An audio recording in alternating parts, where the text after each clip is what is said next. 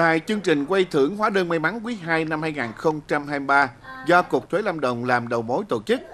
Hội đồng giám sát đã bấm nút lựa chọn ngẫu nhiên hóa đơn may mắn trên cơ sở dữ liệu của 473.288 hóa đơn điện tử có mã của cơ quan thuế, có đầy đủ thông tin người mua trên hóa đơn và có ngày lập trong khoảng thời gian từ ngày 1 tháng 4 đến ngày 30 tháng 6 năm 2023. Trong đó có 75.163 hóa đơn có người mua là cá nhân, hộ kinh doanh, đủ điều kiện đưa vào lựa chọn ngẫu nhiên, đảm bảo tính khách quan minh bạch. Kết quả có 14 hóa đơn may mắn trúng thưởng với tổng giá trị 29 triệu đồng. Trong đó gồm một giải nhất trị giá 5 triệu đồng, 3 giải nhì, mỗi giải trị giá 3 triệu đồng, 5 giải ba, mỗi giải trị giá 2 triệu đồng và 5 giải khuyến khích, mỗi giải trị giá 1 triệu đồng. Trong đợt quay thưởng này, tại địa bàn hai huyện Đức Trọng và Đơn Dương, do Chi cục thuế khu vực Đức Trọng Đơn Dương quản lý, có 4 trường hợp trúng thưởng hóa đơn may mắn với một giải nhất, một giải nhì, một giải ba và một giải khuyến khích và được Chi cục thuế trực tiếp trao thưởng.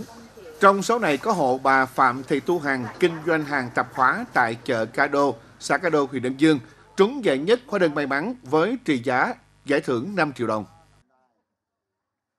Buôn bán cũng rất là lâu rồi, nhưng mình cũng không có nghĩ là tới cái ờ, việc hóa đơn đỏ nó vừa giữa người dân với lại mình mua hoặc là bán. Nó có sử dụng hóa đơn đỏ và để có được trúng may mắn như vậy là, là mình không nghĩ tới. Nhưng bây giờ thật sự mới nhận được cái giải này là mình thấy nó cũng ờ, rất là vui. Với lại ờ, hơn nữa là cũng nên bà con cũng nên xài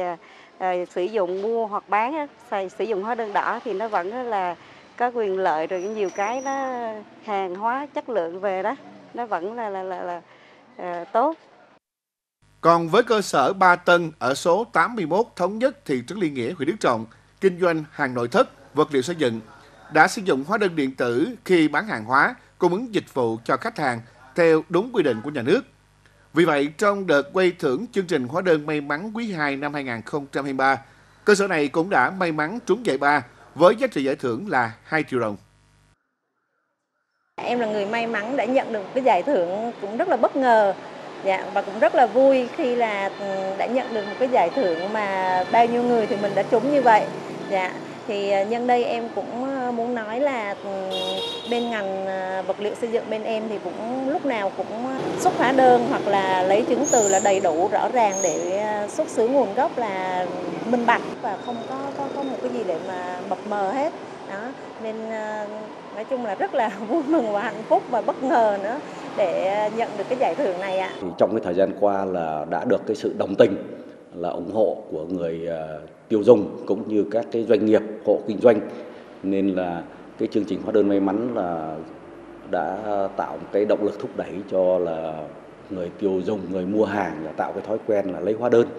và đặc biệt là có cái chương trình hóa đơn may mắn thì ở trên địa bàn thời gian qua là tất cả các cái đợt mở số quay thưởng thì trên địa bàn khu vực Đức Trọng Đơn Dương đều có những cái người đạt các cái giải nhất nhì ba và khuyến khích và đặc biệt trong cái quý 2 năm 2023 thì à, trên địa bàn Đức Trọng Đơn Dương là có bốn cái giải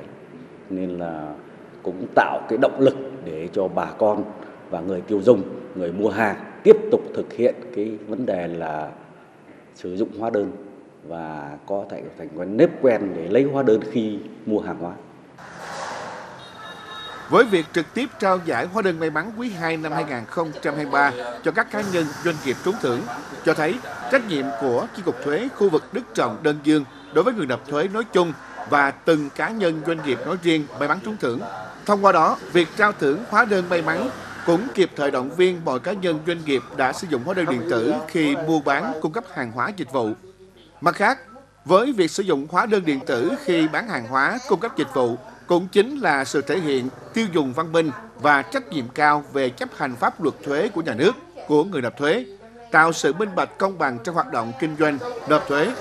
đồng thời góp phần vào thực hiện chống thất thu thuế, đảm bảo nguồn thu đối với ngân sách nhà nước.